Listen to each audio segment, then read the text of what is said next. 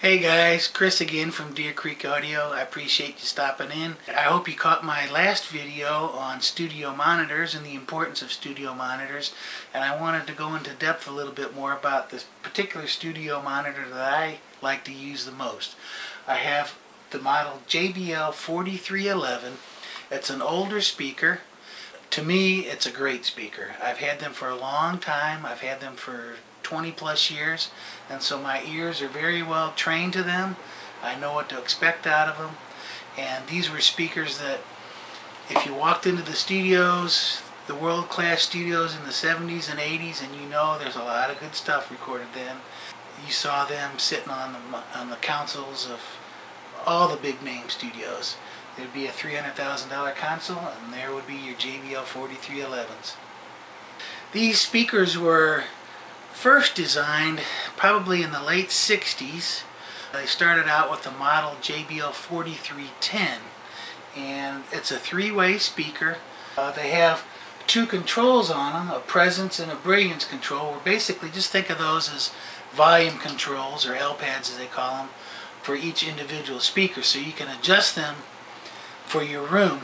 If your speakers are a little bright you can go ahead and turn down the brilliance knob and if they're a little harsh, you can go ahead and turn down your presence or whatever. So um, they could be adjusted to your room. Now realize when you make these adjustments, you're going to be changing the way that your speakers are reproducing what you're hearing. If you listen to my other video about the studio monitors, I was talking about maybe hi-fi speakers might be a little hyped or something like that. They might push the bass or might be really crispy. So you don't want to alter your speakers to get away from what's known as a ruler straight frequency response. You want to go ahead and keep things accurately, uh, keep things accurate. So that's why you might have some controls to go ahead and, and compensate for that. JBL actually is a company its roots started back in the 20s and they made large uh, systems for movie theaters and that sort of thing and for live sound. And then Capitol Records which is responsible for uh, uh, the early label for the Beatles and the Beach Boys and that sort of things they contacted JBL and asked them you know could you guys make a studio speaker for our control room? Your your your past experience building speakers is has been very successful and we'd love if you could come up with something for the control room.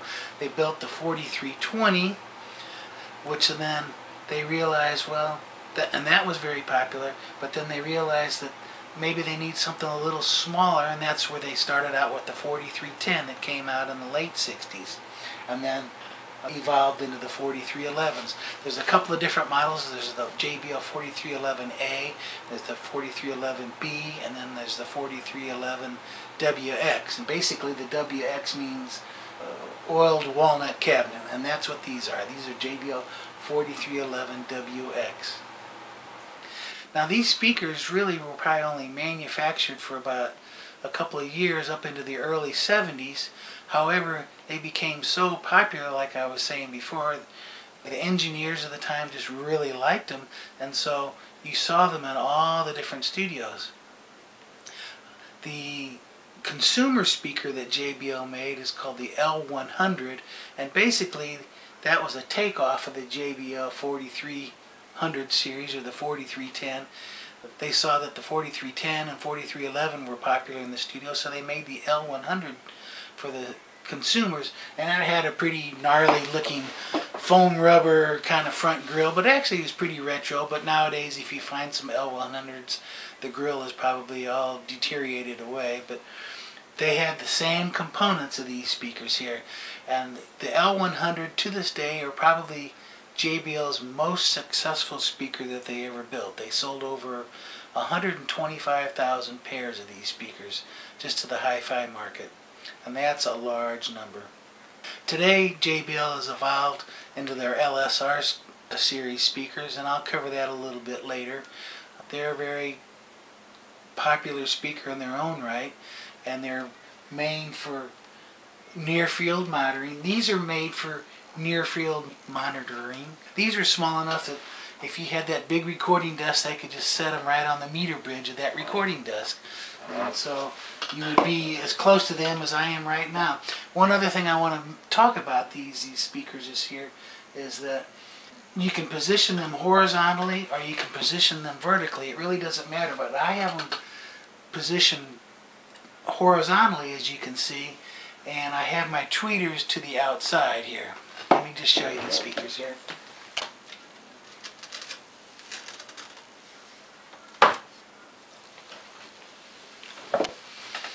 I've got the uh, iconic 12 inch JBL woofer here, the white woofer, which I want to think that Yamaha goes, oh, that was popular, so we'll make some white woofers too.